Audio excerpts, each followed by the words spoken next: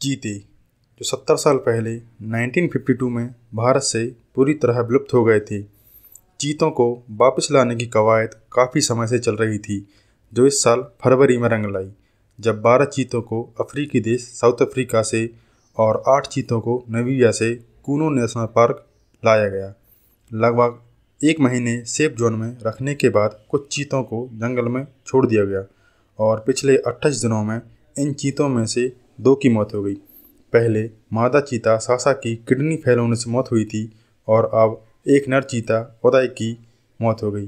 भारत में चीतों का भविष्य क्या होगा, ये तो आने वाला वक्त ही बताएगा, पर हालात अभी काफ़ी चिंताजनक हैं।